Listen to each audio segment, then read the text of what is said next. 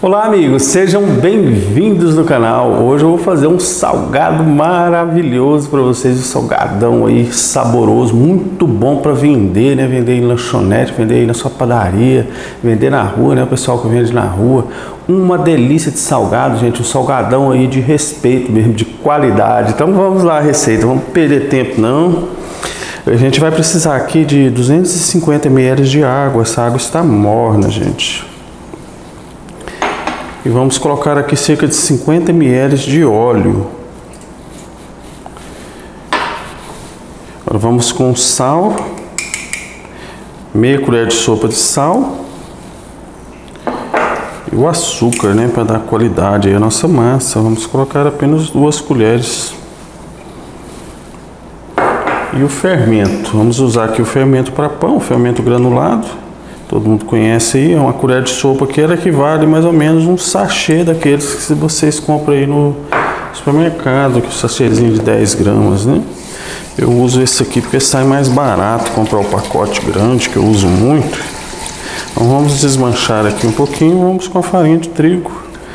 Vamos dar o ponto aqui na massa. Hoje no final do vídeo eu vou mostrar para vocês o presente que eu ganhei de Natal do meu filho, me deu de presente, eu ainda não abri ainda, estou esperando aqui a oportunidade para me compartilhar com vocês, então não perca no final do vídeo. Então vamos colocar aqui farinha até dar o ponto, depois eu falo aí a quantidade certinha que eu usei. Estou terminando aqui de dar o ponto à massa. Essa massa não tem necessidade de sovar, é só uma pequena amassadinha mesmo, com uma massa bem firme. Eu usei aí 400 gramas de farinha de trigo. Então vamos estampar aqui com um pano, deixar ela descansar. Enquanto descansa, vamos preparar aí nosso recheio. Bem, então vamos preparar aqui a carne do recheio. Eu tenho aqui 700 gramas de carne, né? Eu estou usando aqui o A100, né? Eu sempre uso nos meus salgados o A100, que é uma carne boa é uma carne mais em conta, né? Não é tão cara. Estou usando uma luva aqui porque eu não gosto de mexer com recheio sem luva, né? Que já que tem que pôr a mão, é meio estranho, né? Mexer sem luva. Massa tudo bem, mas recheio eu sempre gosto de colocar luva. Eu vou pôr um pouco de sal aqui, menos de meia colher de sal essa carne para hambúrguer, a gente não coloca tempero, gente, não é bom. É bom colocar somente carne. Somente carne, não, desculpa, somente sal puro. Eu tenho aqui 200 gramas de linguiça calabresa triturada. Eu triturei essa linguiça no liquidificador. Dessa linguiça aqui, né, que todo mundo conhece, linguiça defumada, né? Eu triturei ela no liquidificador. Pode ser também, se você tirar o, processador, melhor ainda, né? Ou então uma máquina de moer. Então são 200 gramas de linguiça, é uma linguiça daquela ali. Isso aqui que vai dar sabor né, no nosso hambúrguer. Então vamos mexer aqui, agora tem que, que amassar, né? Amassar bem mesmo para misturar. Por isso que é bom com a luva que a gente vai ter que sovar mesmo aqui, para dar liga, né? Ficar uma, um hambúrguer lisinho. Então vamos sovar aqui por um minutinho. Estou terminando de sovar aqui, agora a carne deu uma liga maravilhosa aqui some, né? A linguiça some no meio da carne aqui, a gente nem vê mais que misturou bem, né? Então vamos preparar aqui os hambúrgueres. Eu tenho uma dica boa aqui para vocês preparar esse hambúrguer com facilidade, né? Bem simples da gente fazer. Eu tenho aqui uma tampa, uma tampa desses vidros que eu tenho aqui do, do tempero. A gente improvisa, né? Pode ser tampa de qualquer vidro aí. Ela tem aqui cerca de 10 centímetros por 2 de espessura. Então você improvisa aí com a tampa que você tiver, se você quiser menor ou quiser maior também pode fazer. Então dessa forma aqui é bem prático. Eu vou colocar um plástico aqui, chega para um pouquinho. Aí a gente coloca a carne. Esse, essa tampa aqui eu já testei, já fiz algumas vezes. Ela dá hambúrguer de 150 gramas. Colocando ela aqui na borda certinho aqui, dá de 150 gramas. Então Dá um salgado bom, a gente dobra a massa para ficar bem lisinho.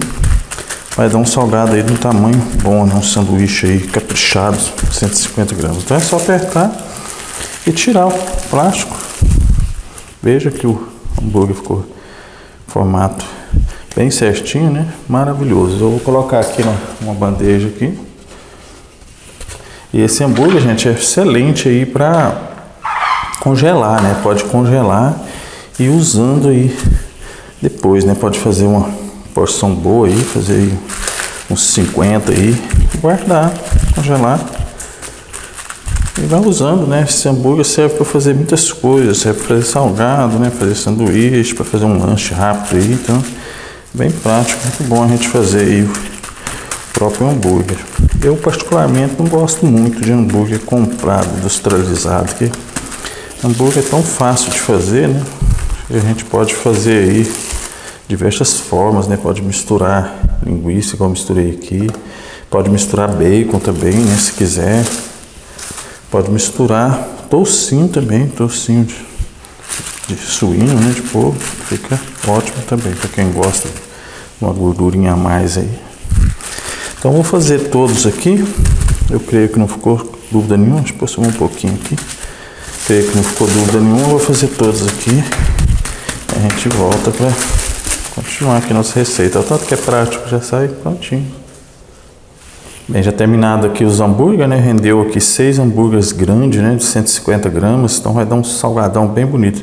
Então agora eu vou passar ele na chapa, a gente pode passar na chapa ou pode passar também no forno, né? Colocar no forno ou até mesmo numa frigideira, né? Passa aí numa frigideira e frita. Só que não, uma dica que eu vou dar para vocês, não deixa ele seco, deixa mais suculento, não passa muito não, porque ele ainda vai no forno depois passar o salgado, né? Para ficar bem suculento, bem gostoso. Então vamos fritar ele.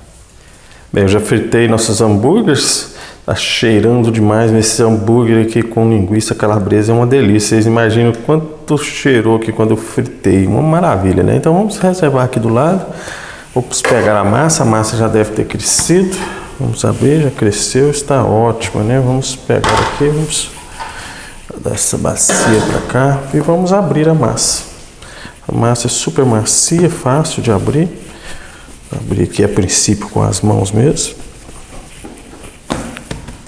E vamos precisar aqui de um rolo, né? Um rolo a gente abrir. Vamos abrir a massa fininha, né? Para o salgado não ficar maçudo. Esse salgado é muito bom com a massa fininha, para ter pouquinha massa. Então vamos virando aqui uma massa fácil, que é só a gente não por força aqui, gente. Massa fermentada é só jeito. Você vai devagarzinho, devagarzinho, muito fácil, desde que você não canse a massa. Se você forçar demais, a massa vai cansando e ela você vai abrindo e ela vai voltando para trás, né? Então aqui é só paciência. Isso aqui mesmo quem nunca fez salgado na vida vai conseguir fazer, vai ser capaz de fazer e vai ficar bom. É só ter paciência, devagarzinho. Veja como abre fácil. Então eu vou abrir ela aqui até dar aqui em torno de 2 a 3 milímetros para a gente fazer os salgados. Aí, terminando de abrir aqui, vou mostrar para vocês a espessura. É bem fininha, né? Cerca de 2 milímetros. Com um cortador ou com uma faca, vamos tirar essa bordinha, que ela fica irregular e fica mais grossa a bordinha. Então vamos tirar e vamos fazer fitas fitas aqui mais ou menos de 2 centímetros a gente modelar o salgado, né? Salgado eu gosto dele com pouca massa, não gosto de colocar muita massa. Então, se quiser com mais massa, vocês podem cortar essas fitas aqui mais largas. Mas dessa largura aqui está ótimo. Então vamos pegar aqui o hambúrguer. Vamos pôr uma fita aqui. E vamos pôr o hambúrguer aqui em cima. Vou pegar aqui os outros ingredientes. Vou passar um pouquinho de molho, molho de tomate, que eu compro já pronto. Ou pode fazer também o molho, né? Eu gosto de comprar pronto, que é bem prático. Quando o tomate está caro também não compensa fazer e vou colocar dois pedacinhos de mussarela. Essa mussarela eu cortei uma fatia em quatro partes para ficar pequeno, mas a gente vai usar apenas uma fatia, né? A gente cortou em quatro partes. Então vamos colocar meia fatia de presunto cada um. E aqui a gente coloca mais dois pedacinhos de mussarela. Que no final dá apenas uma fatia, né? Que foi colocar, cortada em quatro. E por último aqui eu vou colocar uma fatia de tomate, tomate madurinho, né? E vamos pegar na mão agora, dobrou ali a fita, a gente passa mais uma volta e corta aqui por, por baixo. E pega o restante da fita e amarra aqui, corta por baixo. Faz aqui uma trouxinha, né? Mais ou menos uma trouxinha. Deixa eu pegar aqui a forma. Essa forma minha já está untada. Aí é só colocar na forma. Olha que vai ficar um salgado bonito, né, gente? É um salgado muito bonito de alta qualidade. Então é simples de fazer, mas é um salgado muito bom. Então vamos fazer mais um aqui. Pegou a fita, passa um pouquinho de molho na carne, né? Ficar suculento aqui, não ficar seco. Passar até mais um pouquinho. Os dois pedacinhos de queijo. Meia fatia de apresentado mais dois pedacinhos de queijo. E por último, o tomate. Então, dobra. Essa primeira fita a gente passa ela praticamente duas vezes aqui, né, para ficar mais forte. Agora essa outra aqui, afinal a gente pode passar só uma mesmo. Põe por baixo, vou mostrar por baixo para vocês, né? É só cortar com a mão mesmo, apertar um pouquinho para ela não soltar depois. Está pronto. Esse salgado ele chama muita atenção, gente, que é um salgado bem bonito. Ele fica muito bonito depois de assado. Aqueles salgados que se vendem sozinho, né? A pessoa olha e fala: Nossa, eu quero esse, me dá um desse aí. Não vai te perguntar nem o que que tem dentro, né? Porque já está vendo, né? Os salgados abertos têm essa vantagem, né? A pessoa já vê o recheio, não fica nem te perguntando o que, que tem dentro, o que, que não tem. É muito bom. Vou fazer só mais esse aqui para vocês verem. Uma fatiazinha de tomate.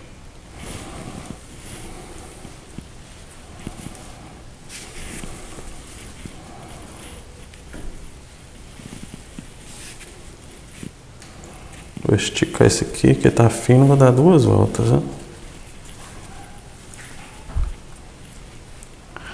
super prático de fazer. Então vou fazer, acabar de encher aqui a forma, que vai dar seis, e já volto para a gente continuar. Bem, já estão prontos aqui nossos salgados, olha quanto fica bonito, né? Então vamos passar aqui uma gema, né? Tem aqui uma gema de ovo, vamos desmanchar ela aqui com, a, com o pincel mesmo. E vamos pincelar. Capricha para passar em volta todo, ficar bonito, né? Dá uma um acabamento bonito aqui no nosso salgado. Depois eu vou mostrar para vocês como assar. Tem a técnica certa de assar para esse queijo não sair, né? Não, não derreter tudo aí, escorrer tudo para a forma, né? Aí o salgado vai ficar sem queijo. Então tem o jeito certo de assar. E depois no final eu vou falar aí uma sugestão de preços, né, para você vender aí, para você ter lucro, né? Não adianta vender e não ter lucro, né? Você tem que ganhar. Então vamos deixar crescer um pouquinho, descansar um pouquinho, pelo menos aí por 5 minutos, depende muito aí da temperatura do dia, né? Hoje está meio chuvoso aqui, às vezes vai demorar mais do que 5 minutos. Então vamos aguardar um pouquinho. Bem, já se passaram aí cerca de 8 a 10 minutos, então já deu uma descansadinha boa, vamos levar, né? Começou a crescer aqui a massa, vamos levar para o forno. Eu vou mostrar para vocês a temperatura. Aqui o segredo para o queijo não sair, derreter, sair tudo para fora aqui é a temperatura, gente. O forno tem que estar tá quente. Eu coloquei o meu forno aqui no máximo, ele está acima de 250 graus aqui, em torno de 260 graus. Então, um forno bem quente, eu coloquei no máximo tanto a parte inferior quanto a superior eu vou baixar a parte superior para o médio para não queimar, que senão queima, né? E o forno a gás convencional pode ser assado que vai ficar bom também, só que você tem que deixar ele esquentar bastante, porque ele é bem mais fraco né, do que o forno elétrico. Você deixa pré-aquecer aí por no mínimo 15 minutos, 10 a 15 minutos, né? Depende da potência do seu forno, deixa ele bem quente mesmo, depois coloca os salgados e fica por perto, né? Para não queimar, que senão queima, né? Ele assa super rápido. Vamos aguardar então. Bem, pessoal, nossos salgados já estão assados. Olha que beleza de salgado, que maravilha de salgado. Está cheirando demais. Veja que o queijo não saiu, o queijo está todo aí, né? Vou tirar um aqui para mostrar para vocês. Ó. O queijo está todo aí, ele deu uma escorridinha, mas não sai, né? Então esse aqui é o forno quente, né? Colocar no forno quente, assado bem por baixo, né? assadinho. Então, muito fácil de assar, é só colocar em forno bem quente mesmo. Ficou aí por 8 minutos apenas no forno. Tá assadinho a massa e não saiu queijo, né?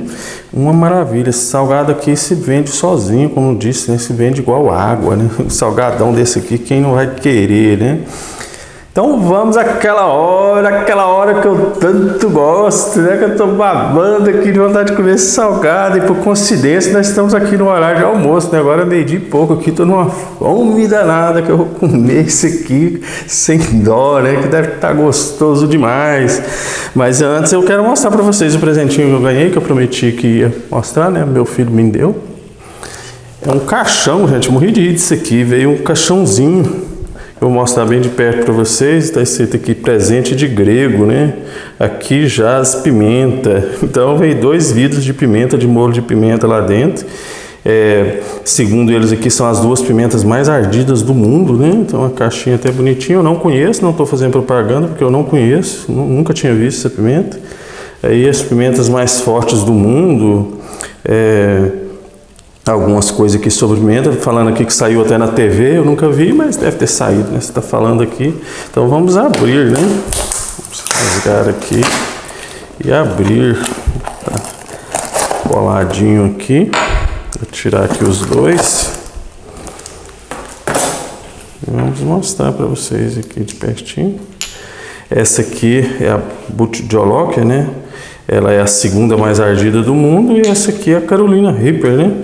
Que é a primeira pimenta mais ardida do mundo, né? Só, só não conheço esses molhos, mas esse tipo de pimenta eu já conheço, não me é estranho, né? Já, já comi dessas pimentas, mas de outras marcas ou in natura, né?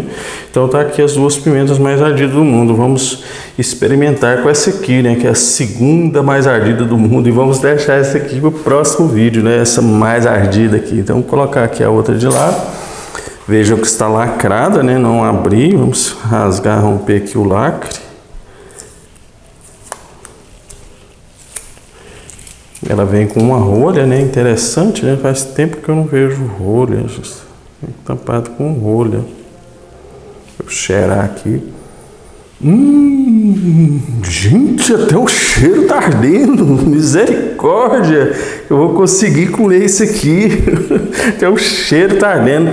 Deu água na boca aqui, gente. Então vamos partir aqui um salgado. Feitinha preguenta, pregando na minha mão aqui. Vamos partir aqui o salgado para a gente ver dentro, né? Cortar. E falando do preço, né? Não falei do preço, esse salgado né, não é um salgado barato, né? Veja, que maravilha. Ele não é um salgado barato, porque gasta bastante carne, né? Então é um salgado aí que você deve vender no mínimo aí, no mínimo por 7 a 8 reais, né? Que senão você não vai ter lucro, né? 8 reais aí é um preço justo. Hum, gente, mas isso aqui deve estar gostoso demais. Então vamos tacar pimenta aqui, tacar sem dó, porque eu não tenho medo de pimenta não. Pode queimar do tanto que for, que eu, medo eu não tenho não. Vamos tacar pimenta aqui, vamos tacar pimenta sem dó. Porque pimenta, gente, todo tanto é pouco. Hum, mas ela é vermelhinha, vermelhinha, aí. Eu estou até com medo. vamos experimentar assim mesmo. Deixa eu colocar aqui, tem uma colinha por baixo dela aqui que tá querendo cair. Então vamos lá.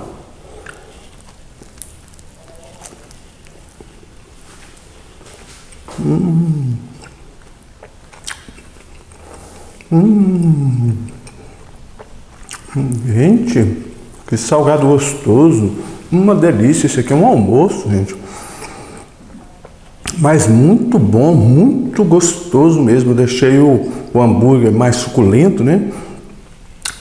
Uma delícia. Quem quiser o, o, o hambúrguer mais passado também pode deixar mais passado, deixei mais suculento. Mas tá queimando a boca tudo, gente, eu tô falar aqui, sério. Que que é isso? Essa pimenta não é de, de Deus, não, gente. Está queimando demais, está queimando tudo. Hum, que que é isso? Isso aqui é pimenta, misericórdia. Está queimando tudo. Mas está muito bom, que quando queima mais gostoso fica. Eu vou botar mais aqui acabar de queimar tudo aqui. Espero que vocês tenham gostado do vídeo. Nossa, tá saindo água pelo olho. Não tá não. Tá muito forte. Eu espero que vocês tenham aguentado, aguentado não, desculpa, espero que vocês tenham gostado do vídeo, eu tô quase passando mal aqui. Mas está muito gostoso, eu adoro pimenta. Eu espero que vocês tenham gostado do vídeo, se gostou, não se esqueça do joinha, fiquem todos com Deus e até o próximo, estou queimando tudo.